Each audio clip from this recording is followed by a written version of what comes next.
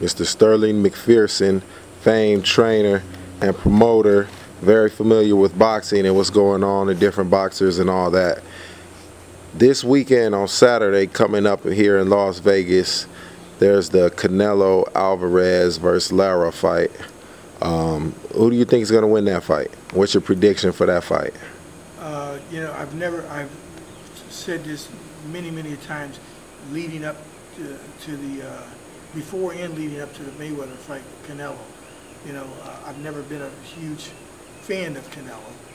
And, uh, you know, I, you know, uh, it's, it's one of those, he's one of those kind of guys that, you know, people have made a lot of uh, references about, about, you know, what he can do and what he can, how, how, how powerful he is and all the things that he, he's able to do and all the great knockouts that he's had.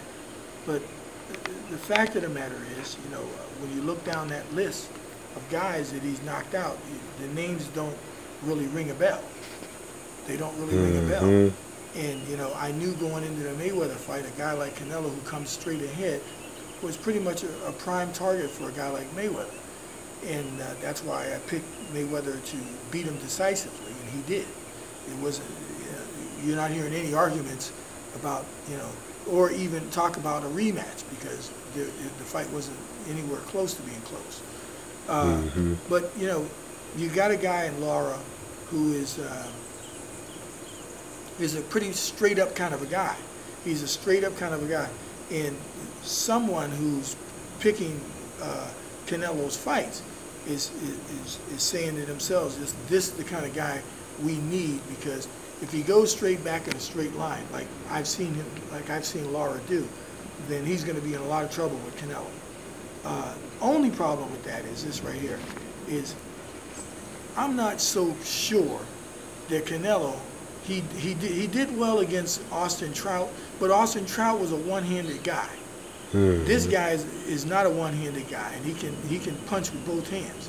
Alara, he can he can throw with both hands. Not a I mean, he had, hasn't he hasn't had a tremendous amount of experience. I mean, he's only had what 21, 22 fights. Lara, Mhm.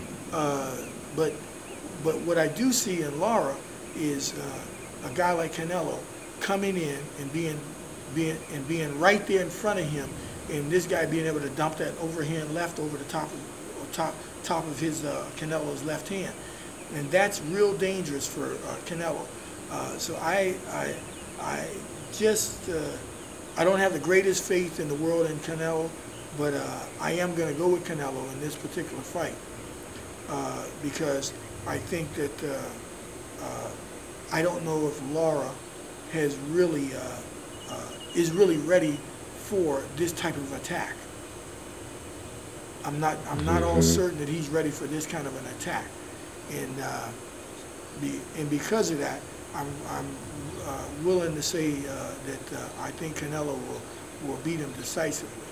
Uh, will beat him decisively, but uh, you know, again, it's it's one of those kind of fights that you know in, in this day and age in which we live in, and we watch all of these guys from Lamont Peterson to Devon Alexander to Zab Judah to uh, Matthysse and all of these different guys. The, the one thing that I see in all of these guys mm-hmm. is they're week to week. You don't know what you're getting from week to week on any of these guys. Even Danny Garcia. You know, you don't know what you're going to get. You know, and that that's what's and that's what's keeping these guys all in in in in harm in in, in arm's way as, as a champion because anybody can anybody can walk off the street on Saturday night and win this and win these world titles. It's it's the craziest thing I've seen in a long time.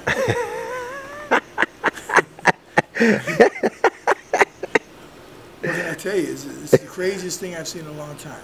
So, uh, you know, I wouldn't i- i- if if if Canelo got dropped in this fight. Uh, I really I really like to see that and see how he gets up and see how he handles himself after getting knocked down. That's that's that that that would tell me a lot more about him. But I just haven't seen any of that in this guy. Not yet. Mm-hmm. But I am going to say that I am going to pick him to win against Lara uh, because I haven't really seen a whole lot of Lara. But what I have seen of him, he's he, he seems to be fit the part for Canelo, going straight, because he goes back straight in a straight line when punches are thrown at him. He goes back in a straight line. So, uh, you know, that, that, and that's a dangerous thing when, when you're fighting against a puncher, you're going back in that straight line where he's able to reach out to you and get you. Hmm. Okay. All right. Thank you for that prediction.